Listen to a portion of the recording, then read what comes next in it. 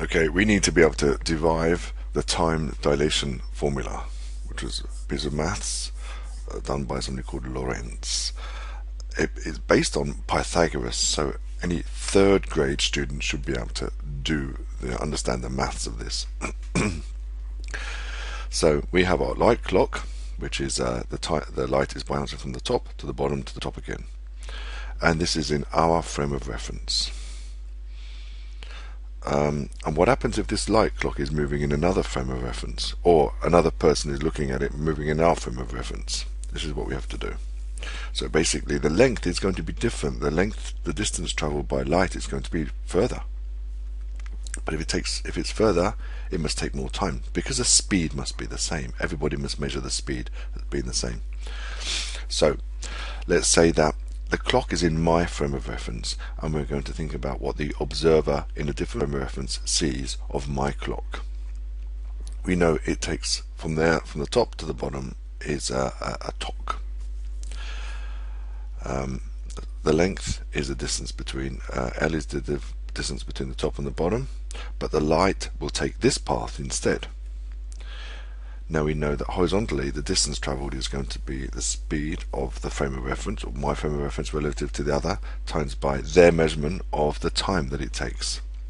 Since we're looking at their measurement of what happens in my frame of reference.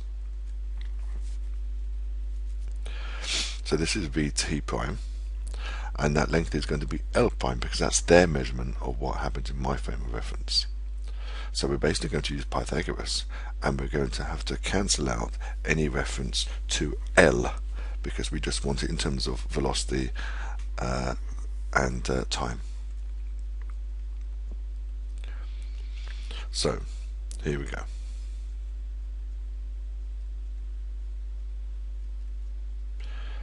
This is uh, the same as before. This is uh, L prime as measured in the other frame of reference. This is L, my frame of reference, and this is V T prime. This is going to be the, the base of this uh, triangle. So we're basically going to use Pythagoras.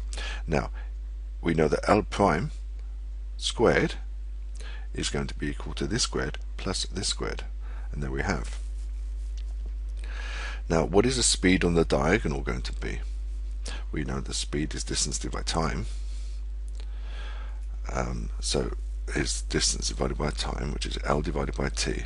So in other words, the length, L prime, is equal to speed times by time. What we have to do now is take this Pythagoras and substitute this value for the length as speed times time. So L prime is going to be T prime times by C, and L squared is going to be, uh, I believe it's L squared for now, divided by vt prime squared. Now we're going to divide both sides by c squared. So L uh, t prime squared is equal to L squared over c squared plus vt prime squared divided by c squared. Remember, all we've done is divided by c squared. And but, so we rearrange this to make L squared over c squared uh, the um, the term on the left hand side. So we just rearranged it and moved uh, vt prime squared over c squared onto the other side. But as I said L squared over c squared is equal to uh, our time squared. So we now have this. Our measurement of time squared is equal to the time squared measured in the other frame reference t prime squared minus vt prime squared divided by c squared. And we can tidy that up a little bit. Factorizing and so we make t prime the subject. t prime squared is equal to so we basically divide both sides by 1 minus v squared over c squared. Uh, is t prime squared is equal to t squared minus 1 minus v squared over c squared and then we square root everything.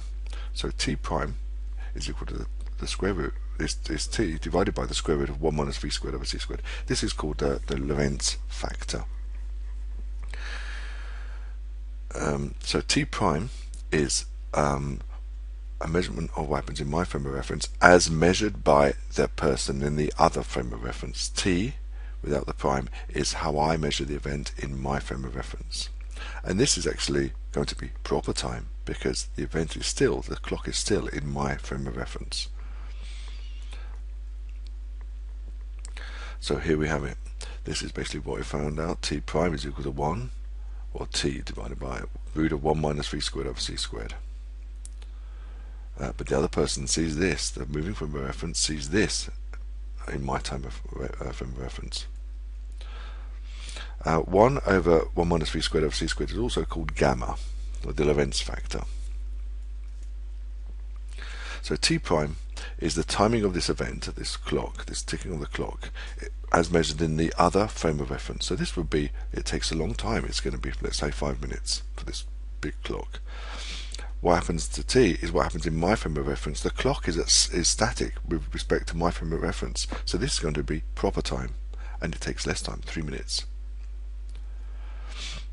So when someone observed an event in another frame of reference, for example, uh, the, the, an event, the TOC, the T prime, it takes a long time for an event which happens in the other frame of reference. So, in, in, well, looking at the other person's observation of what happens in my frame of reference. So, my clock is taking three minutes for this event. The other person will time on their clock five minutes. So, do you think that my clock is moving slowly? So, moving clocks slow down. Moving clocks go slow.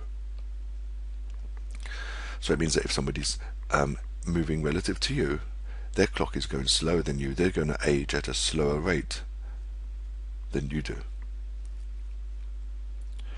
Another example is if you observe a five, a three-minute event occurring in another frame of reference, to be, you make it, let's say, five minutes. Remember the sandwich. It takes three minutes to make a sandwich. I'm going to measure this as being five minutes. So this is a time dilation formula. This is as measured in the moving frame of reference, and this is as measured in my frame of reference. This is proper time. So this is the uh, time for the event, the proper time, and this is a time as measured, um, um, the time measured as perceived by the person who sees a moving clock. So moving clocks go slower. In the data booklet, you have these two equations. Um, delta t, which is the time of an event, is equal to uh, lambda uh, t naught. T naught is um, the proper time. Remember, this is this t here. This t naught is the proper time. So, and you multiply by a factor which is always greater than 1, and this will be, let's say, 5 minutes, this will be 3 minutes. So a 3 minute event in a moving frame of reference is, um, is going to be observed by the observer as being a, a five minute event. And this gamma is the Lorentz factor. So this is proper time. This is where the events, which is the beginning and the ending of the making of the sandwich, happen in the same point. And this is the measurement of this time duration of this event which takes place in another frame of reference. So you need to sketch this gamma factor, 1 divided by 1 the root of 1 minus v squared over c squared and this is what we have here. This is the um, try on a, on a graphical calculator. Y is equal to 1 divided by the root of 1 minus v squared over c squared where v, uh, v is the variable. So it's 1 minus x squared divided by uh, you could say 1 squared So you could try this, and this is the shape you'll get. And what it means is that for very slow, very low values of C, the gamma factor is 1. Even when we're at 50% of C, the gamma factor is slightly above 1. The time dilation doesn't change very much. As you approach C, uh, it becomes asymptotic to C. So in other words, if we're at 90% of C, then you're going to have a factor of 2. When we get 95% of C, we're going to have a factor of 3. And when we get 99.9 factor C, we're going to get a very high factor. So the time dilation um, will be quite considerable. This is another way of presenting it. And it's easy to read off the values here. So if we have 9.9 times the speed of light, it will be uh, 2.2 gamma. Gamma will be 2.2. If we have 95, it's going to be something like 3. If we have 99, it's going to be something like 5 times so an event that is happening at, at 99 percent the speed of light, if we see an event happening at 99% of, of, of, the speed of light, and in the, in that frame of reference, proper time is one second, we're going to measure this one second event as taking five seconds. Here's another example. This pion, this pi meson, travels along now, and we've already looked at this. The length of the lab is 10 meters. Who's moving? The pion or the lab, or both, depending on the frame of reference. How much does it take? Well, which is proper time? Well, the start and the lab at the same point of time is going to be proper time, and that only works for pion because for us, the, the, the beginning of the lab and the end of the lab are in different places. So we measure not proper time as 3.5 times 10 to the minus 8. So if our time is 3.5 times 10 to the minus 8 seconds, and we're going to have a prolonged version of time, uh, the actual proper time is going to be less than that by a factor of uh, of the, the Lorentz factor, and you must find out what this is for 0.95, but um, v is 0.95, and then find out what the factor is. So for the pion, it actually takes less time. It's like a tenth of the, of the amount of time. Remember for the pion, for, for the pi meson, uh, the beginning of the lab and the end of the lab is in the same place. Look, the pi meson is still. It's the lab that moves according to the pion. But it measures proper time because it's in the same place relative to itself. So the formula we're going to use is this. So we need to substitute, instead of V, we, here we have 0.95 times C, so it's 0.95 divided C divided by C, square that, subtract that from 1, square root it, and find the reciprocal. This gives the gamma factor.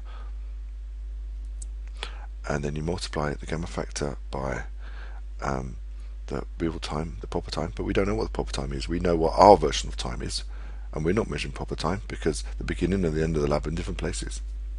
So you basically divide by the gamma factor, so you end up with a smaller value of time. So for the proper time, it might take um, a, a, quarter of, of the amount of time it takes here.